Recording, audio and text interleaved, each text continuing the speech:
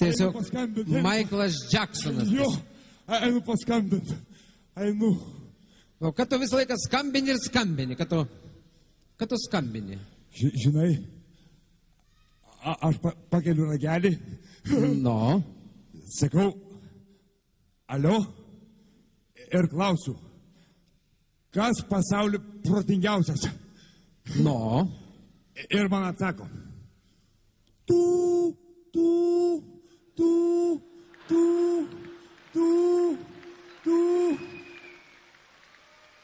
Jo. Tai tada ir man reikia paskambinti, degalinę uždarom pietų pertraukai.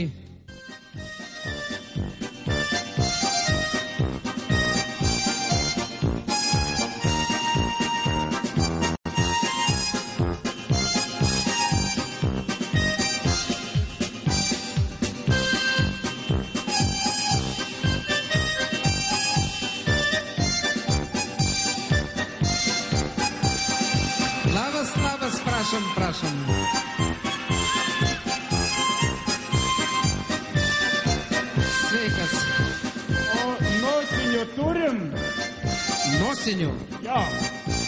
Ta prasme, nosį nusivalyti turim, bet sandėliukė aš. a- Tai palidės. Jo, palidės. Ge- ge- Gerai, taip. Aš to atnešiu.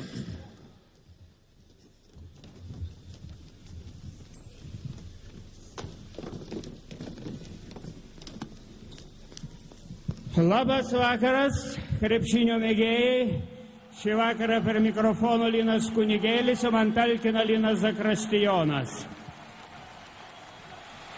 Šiame mače susitinka dvi stipriausios Lietuvos krepšinio komandos. Kamuolį varosi Rolandas Matulis, perdavimas Donatui Slaninai. Trys taškai. Ramūnas Šiškauskas kamuolį išmeta iš užgalinės linijos. Perdavimas šležui. Pažeista vidurio linijos taisyklė.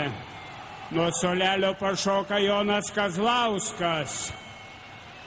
Iš užribio kamuolį išmeta Gedrius Gustas. Perdavimas Slaninai. Slanina Hižniakui. Hižnekas Slaninai, Slanina Hižnekui, tas pašoka ilgai skrenda orų, deda iš viršaus. Du taškai salės kesta plojimų jūroje. Gintaras Krapikas ir Algirdas Brazys prašo minutinės pertraukėlės. Malonu, kad mūsų varžybą stebi žymus politikai. Justinas Karosas, ponas Pilvelis, Seimo narys Sysas. Jie visi šiandien Seime sprendė Lietuvos energijos ir Lietuvos dujų privatizavimo klausimus. Neseniai gavome pranešimą, kad šokėjo ant ledo pora Povilas Vanagas ir Margarita Drobesko ruošiasi atsisveikinti su didžiuoju sportu. Taipogi Kauno krepšinio mėgėjams džiugi žinia, tikrai sugrįžta į aikštelę Arvidas Sabonis.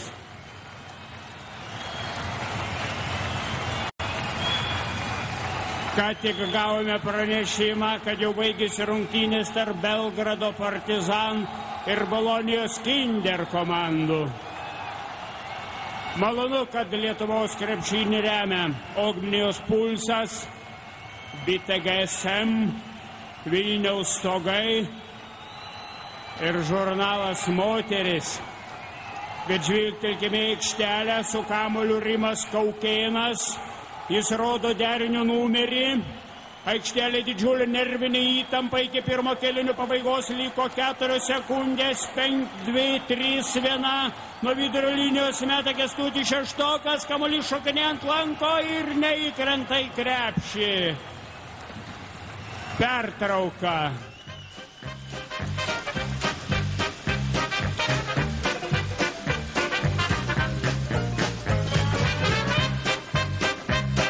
Malonu Brangus žiūrovai, netrukus mūsų programoje matysite 17 val.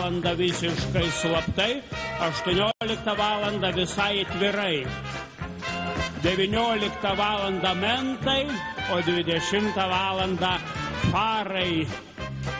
O dabar eteryje geriausios pūko dainos.